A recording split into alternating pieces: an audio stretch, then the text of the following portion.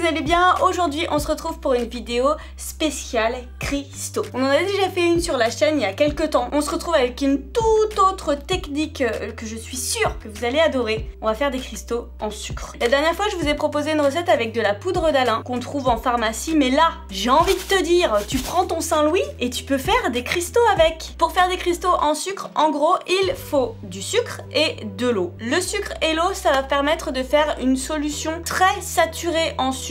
C'est la même chose qu'on avait fait avec la poudre d'Alain, mais là on va le faire avec le sucre. On mettra le sirop dans des pots en verre ou des pots qui sont résistants à la chaleur parce qu'autant vous dire que le sirop de sucre, ça peut être très très chaud. Et on veut surtout pas faire fondre le récipient dans lequel on va mettre tout ça. On va avoir besoin d'un stylo tout simplement auquel on va attacher une ficelle. Ça va permettre de faire pousser les cristaux sur cette ficelle. Je vais vous montrer dès maintenant comment faire le sirop de sucre, ça se passe dans ma cuisine. Go Aujourd'hui, on va dépecer un lapin. Nous voici donc dans ma cuisine. Enfin, je dis ma cuisine, mais c'est plutôt la cuisine de Juju, qui est derrière la caméra. Coucou Juju Oh le vent Quand je dis coucou Juju, tu dis coucou Guigui. Coucou Guigui. Ah, merci. Donc je suis dans la cuisine de Juju, la reine des vents, et je vais vous montrer comment faire le sirop qui va vous permettre de faire pousser vos cristaux. Cool. Du sucre. De quoi mesurer le sucre? Il nous faut 4 cups. On va prendre une petite balance pour être sûr du grammage que vous devriez faire. Là, j'ai versé 3 cups déjà de sucre à l'intérieur. On en a pour 570 grammes de sucre. Il y a beaucoup de sucre, mais c'est ce qui va permettre de faire la cristallisation. On va ajouter l'équivalent d'une cup d'eau. Pareil, on va la mesurer pour savoir combien ça fait. À peu près 200 ml. On n'a plus qu'à verser l'eau à l'intérieur, tout simplement. Et on va mettre le feu assez fort. Et ensuite, tout de suite, il faut mélanger pour être sûr que le sucre n'adhère pas au fond de la casserole et qu'on puisse faire un beau sirop bien clair. Et alors là, il n'y a pas de secret, il faut continuer à mélanger régulièrement jusqu'à ce que la solution soit totalement transparente et qu'il n'y ait plus de petits grains de sucre visibles. En attendant que le sirop prenne, on va prendre le temps de préparer la ficelle qu'on va venir positionner à l'intérieur du sucre. On va en prendre une petite longueur, on découpe et on va l'attacher à la ficelle. Et si la ficelle est trop longue, on a juste à l'enrouler sur elle-même pour l'adapter à la bonne taille dans le container. C'est là-dedans que je vais le mettre finalement parce que ça c'est trop petit. J'enroule la ficelle jusqu'à ce qu'elle touche plus le fond, c'est important sinon les cristaux vont se former mais dans le fond du pot. Voilà. Et bien sûr on surveille le sucre pour pas que ça brûle. Ce serait dommage. Photo Insta. wow ça devient translucide. C'est pas encore prêt, il y a encore des grains, mais petit à petit ça va le faire. Donc là, ça boue. Alors attends, je veux pas que ça déborde. C'est bon signe, ça veut dire que la solution est vraiment en train de s'éclaircir. Et là, faut faire attention parce qu'en fait, le sucre s'éclaircit, mais c'est en dessous des bulles que ça se passe. Donc, assistant du jus, il me faut une cuillère. Donc là, ça s'éclaircit de plus en plus. On va faire le test avec la cuillère. Ah, là on est pas mal. En gros, ce qu'on a fait, c'est un sirop de sucre. Hein. Et ce sirop, une fois qu'il est bien clair, on va couper le feu et on va le laisser refroidir légèrement avant de le verser dans le bocal. Je le retire du feu pour être sûr que ça continue pas à chauffer. Et là, c'est l'étape où on peut, si on le veut, ajouter du colorant. Moi, je l'ai fait sur d'autres modèles. Là, je vais laisser le liquide blanc et on va tester pour voir ce que ça donne quand c'est transparent. On verse le sucre dans l'assiette. On va prendre la ficelle qui était dans le bocal. On va la tremper dans le sirop. Alors là, il faut faire attention, c'est très chaud. On utilise une cuillère, ça va aider à, vraiment imbiber la ficelle de sucre. Et quand elle est bien imbibée, on la sort et on va la poser dans le sucre. Touchez pas le sucre fondu, hein, c'est très chaud. Et quand on a bien recouvert la ficelle de sucre, voilà ce que ça donne et on va pouvoir mettre, enfin verser le sirop à l'intérieur du bocal. Prochaine étape, on prend la ficelle et on la positionne à l'intérieur du sucre. Donc là c'est pas évident mais on va essayer de faire couler la ficelle au maximum dans le sirop. Maintenant ce qui reste à faire c'est attendre. On va voir ce que ça donne d'ici 4 heures. Si au bout de 4 heures on trouve que les cristaux n'ont pas assez grossi, bah on va attendre plus et puis on les retirera quand on aura décidé que c'est ok. On se retrouve après 48 heures d'attente. Oui, j'ai attendu pas mal de temps parce que je voulais être sûre de voir ce que ça donnait avec des gros cristaux. Je vous propose de protéger votre table. Le sirop, ça peut être difficile à laver. Et pour préciser, j'ai deux solutions. Donc celle qu'on a fait ensemble à la caméra et j'en ai une deuxième. Celle-ci qui a posé beaucoup plus longtemps. Celle-là 24 heures, celle-là 48 heures. Je vous conseille de vous munir aussi d'une paire de ciseaux pour casser la couche de sucre qui s'est formée sur le dessus. De pas tirer, sinon vous risquez de casser les cristaux. J'ai trop hâte, j'ai l'impression que c'est un peu Noël. Je pense que ça valait le coup d'attendre. Waouh Je prends un saladier, on va vider l'excès de sirop à l'intérieur.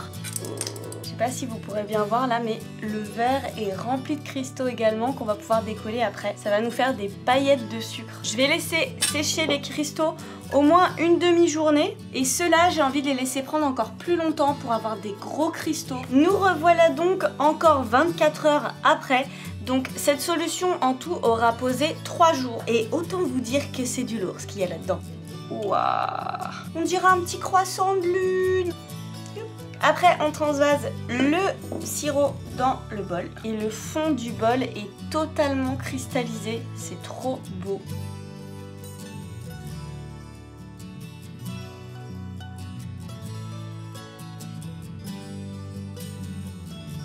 On va faire une géode en sucre. Là, j'avais trop hâte de voir si ça fonctionne.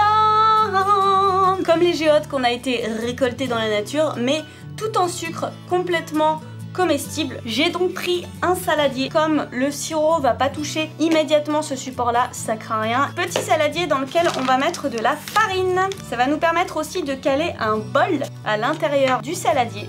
Voilà, et là vous vous dites mais qu'est-ce qu'elle fait? Et je vais mettre aussi de la farine à l'intérieur du bol. Et là, ça va être plus pour un aspect esthétique de la géode, pour lui donner sa forme en gros. On va faire en sorte de l'étaler un petit Ensuite, on va prendre le papier d'alu et on va le mettre à l'intérieur du bol. Ça va être vraiment le contenant du sirop. L'alu, ça va aussi permettre de démouler facilement après le sucre cristallisé. Le sirop est prêt pour les géodes. Cette fois-ci, j'ai décidé de le teinter en violet, comme les améthystes. On va pouvoir faire ça à l'intérieur du papier d'alu. Pour protéger tout ça des microbes, on va mettre du papier d'alu au-dessus. Pour garder la chaleur les premiers temps, on va même mettre un petit torchon sur les deux. Et voilà, on va laisser poser pendant 48 heures. On va mettre l'excès de sirop dans le bol.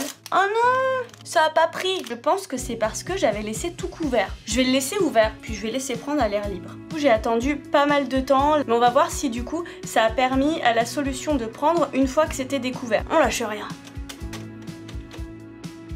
Celui-là, il a l'air d'avoir un peu plus cristallisé. Je crois que ça a fonctionné pour celui-là, les gars. Donc là, l'idée, c'est de décoller tout doucement les cristaux du papier d'alu. Franchement, déjà, il y a des beaux cristaux. Maintenant, ce qu'on aimerait, c'est que ça ait pris la forme ronde du papier d'alu. Waouh, ça c'est trop beau. Et ce qui est cool avec le papier d'alu, c'est que même si pour l'instant ça fait pas une géode, on arrive à tout récupérer à l'intérieur. Faut pas que je le casse. Voilà, avec un arrondi. Je vais essayer de le prendre délicatement parce que c'est pas sec du tout.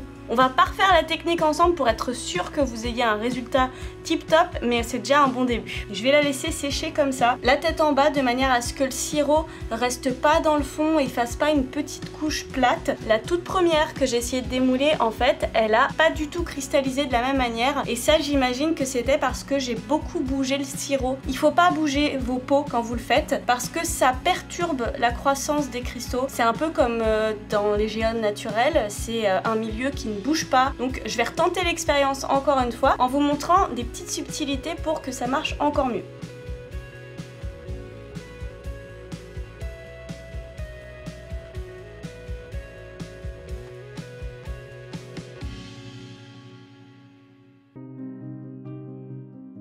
Je vais mettre du sirop à l'intérieur des moules et ensuite je saupoudre de sucre. Et je vais m'aider de mon pinceau, vraiment en mettre partout. Quand j'ai bien cristallisé le tout, je verse le sirop. Voilà, on attend 48 heures voire plus selon comment ça prend. Et puis après, on checkera le résultat ensemble. On se retrouve donc deux jours après. Enfin, j'ai attendu un petit peu plus longtemps, presque trois jours. Déjà, ce qu'on peut voir, c'est que ça a bien cristallisé. J'ai bien l'impression que ça a fonctionné y aller vraiment très délicatement, sinon ça risque de casser parce que le sucre n'est pas encore sec. Démoulage de la deuxième. La forme, elle est là et plus on attend, plus on a des gros cristaux. On va finir la recette des géodes. Du coup, je vais vous montrer ce que ça a donné. On a différentes formes, différentes cristallisations. C'est de la chimie, ça ne réagit pas forcément de la même manière. J'ai mis sur de travail un morceau de papier cuisson sur lequel je place un verre. Système très pratique, vous allez voir. On prend la géode et on la retourne par-dessus pour la Pour faire fondre le chocolat, on va le faire au bain-marie. On a mis un petit fond d'eau dans une casserole et on va prendre un saladier en verre avec le chocolat à l'intérieur. Ce qui est important pour bien faire fondre le chocolat au bain-marie, c'est que l'eau ne touche pas le récipient. Sinon, le chocolat cuit et ça fait des paquets tout moches. Je fais donc chauffer l'eau et je mets directement mon saladier par-dessus. Et on va laisser fondre tout doucement pour avoir une jolie texture de chocolat. Faut mélanger de temps en temps pour pas que ça colle au fond. Là, on commence à avoir une belle texture bien lisse et il faut être sûr qu'il n'y a pas de morceaux de chocolat qui restent, mais on n'est pas loin du but. Petit torchon pour ne pas se cramer les doigts. Et on recouvre donc la géode du chocolat. On dirait un champignon. On n'a pas fini. N'oublions pas que c'est une expérience. On va récupérer le chocolat qui est sur le papier pour pouvoir le réutiliser plus tard. On va rajouter une couche supplémentaire sur les bords pour vraiment avoir un bord blanc bien prononcé autour de la On va y aller à la cuillère, vraiment grossièrement, il n'y a pas besoin euh, d'être hyper délicat. Le tout, c'est de rajouter de la matière. Le chocolat blanc, c'est bon, on va pouvoir passer à la couverture en chocolat noir. Pour ça, on va pas utiliser du chocolat noir. Non, non, non. On va repartir sur la même base de chocolat blanc. Voilà, pour pas avoir à acheter 10 000 trucs. Et on va utiliser du Van Houten, du chocolat cacao en poudre non sucré, parce que le chocolat blanc, c'est déjà assez sucré. Je vais tester déjà d'en mettre une cuillère, voir ce que ça donne niveau couleur. Là, on va clairement passer sur plus de cuillères euh, pour que ça fasse une couleur bien foncée. Donc là, on mélange bien pendant que c'est encore sur le feu, de manière à ce qu'on n'ait plus les petits paquets de chocolat, parce que voilà. Donc là, il a refroidi. Je vais déposer le chocolat dessus. Vous entendez ce doux son de la réussite? On peut voir que le chocolat a complètement pris. Alors là, deux solutions. Soit on laisse le chocolat avec les filaments, ça peut être joli pour une décoration de gâteau ou autre. Soit on prend un petit couteau, on fait attention de ne pas se couper et on va venir couper tout autour de manière à révéler les deux couleurs de chocolat. Donc voilà, idéalement, il faut bien arriver à voir les deux couleurs, le blanc et le marron. Et ça vous donne de quoi explorer pour vos décorations de gâteaux ou encore de pâtisserie. Voilà, je pense qu'on a bien exploré ensemble la technique des cristaux en sucre. Dites-moi en commentaire ce que vous en avez pensé et surtout envoyez-moi des photos de vos essais. Et si vous y arrivez mieux que moi, dites-moi comment vous avez fait, je perfectionnerai la technique. Sur ce, je vous fais plein de très très gros bisous et je vous dis à très vite pour un prochain tuto. Salut